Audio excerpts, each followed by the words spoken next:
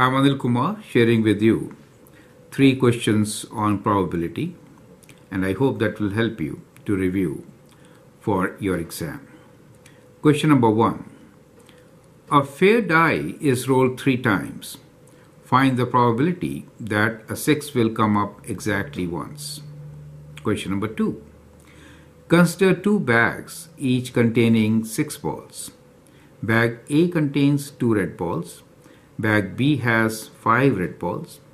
A bag is selected by tossing a coin and one ball is removed at random from it. Determine the probability that it will be a red ball. Question number 3. A group of 50 students, 24 study chemistry, 30 study physics, and 6 study neither of these subjects.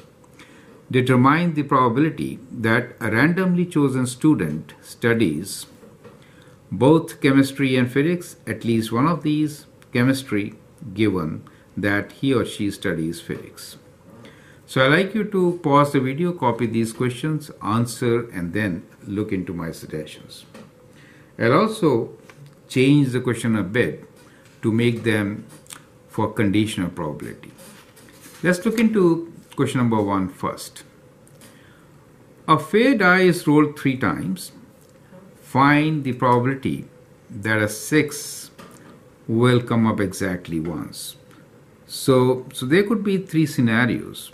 6 could occur in the first row or in the second row or in the third throws. So what we're trying to say here is that there are three favorable cases.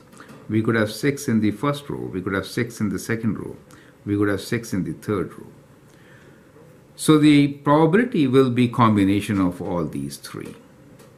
Getting 6 and not getting others will be, these are independent events, so the probability is 1 out of 6 times.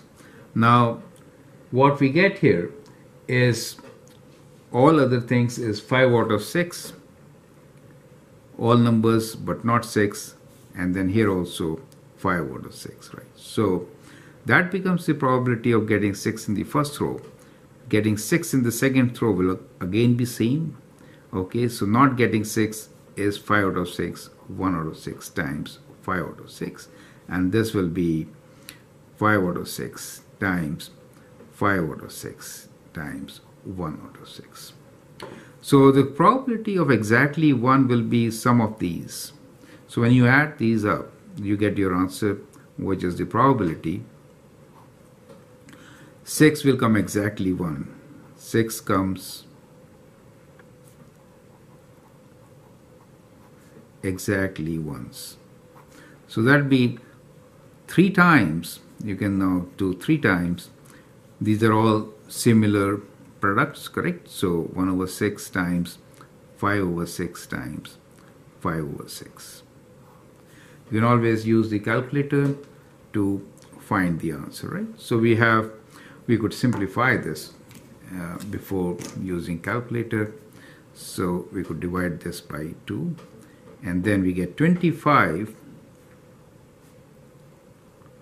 over 36 times 2, 72. Right, so anyway, so we get our probability as 25 over 72. So the answer is 25 over 72, right? Now let's look into the second question. Question number two.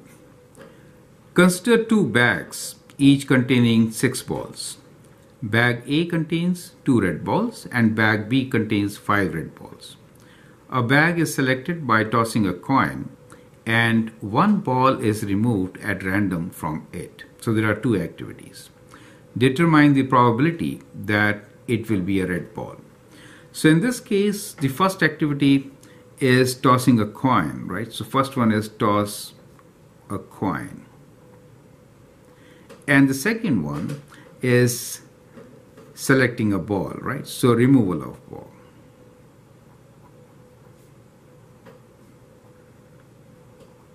So as you can see, both are independent events and they are mutually exclusive. So very important to understand, both are independent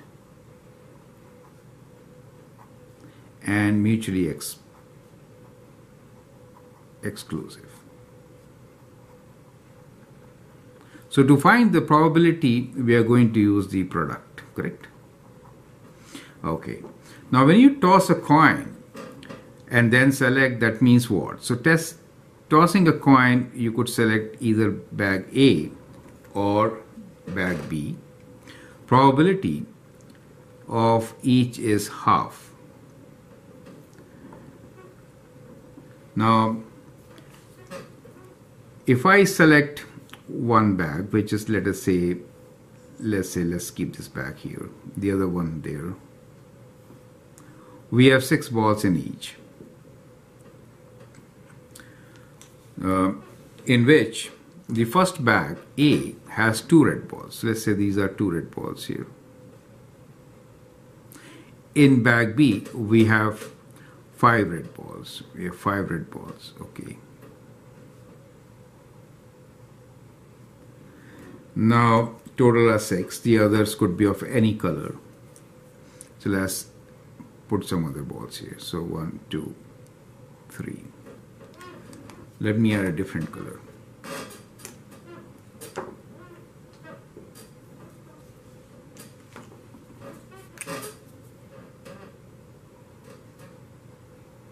Let's say that's the distribution. This is our bag A and that is bag B.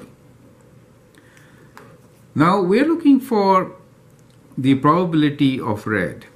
Now selecting red from this set is 2 out of 6 and from here it is 5 out of 6 and therefore when you combine these two probabilities for red ball what do you get you get combination of these two right and so the answer is probability of selecting red ball is half times 2 out of 6 plus half times 5 out of 6. Good. So denominator is 12, numerator is 2 plus 5, which is giving us 7 out of 12. Right? So that is how this question can be answered. Now we could always change the question to make it a conditional probability, and that is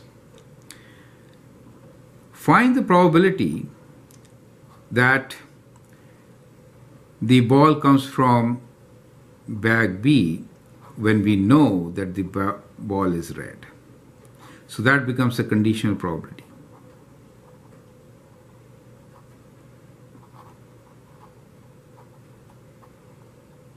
So let this be your question number four.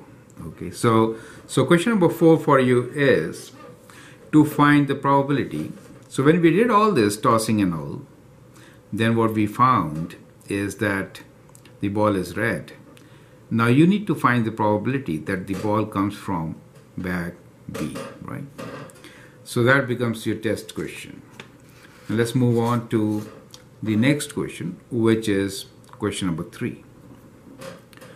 A group of 50 students, 24 study chemistry, 30 study physics, and 6 study neither of these subjects. Determine the probability that a randomly chosen student studies. So there are three different questions here. So what we are going to do is we are going to actually sketch a Venn diagram. We know in our sample space we have total of 50 students. They are studying two subjects, physics or chemistry, or neither of these two, right? So, so this is our sample space in which we have 50 students.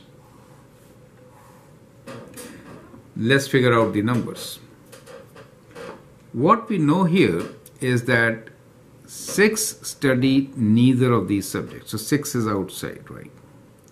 We know numbers in our sample space is 50. Now 6 is neither of these. That means that the students, so number of students who are studying chemistry or physics, right? So chemistry or physics should be 50 minus 6, which is 44, correct? So combined is 44.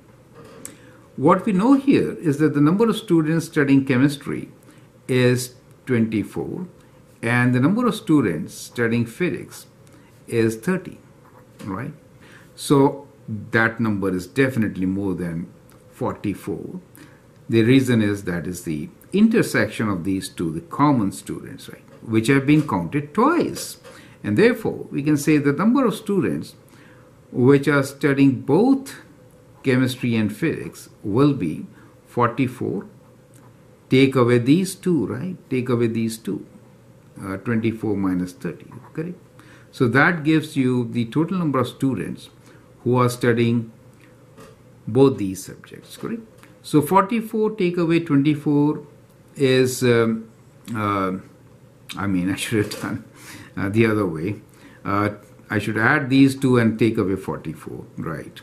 So, so, so you get 54 take away 44. Let me write down here. Uh, 54 take away 44 is 10, right? So these are 10 students here.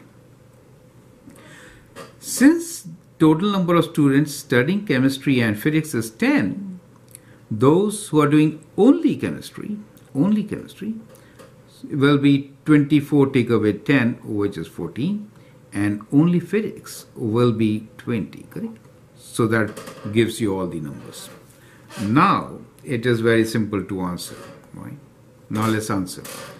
Both chemistry and physics. Remember, when we say both chemistry and physics, we are looking for this intersection.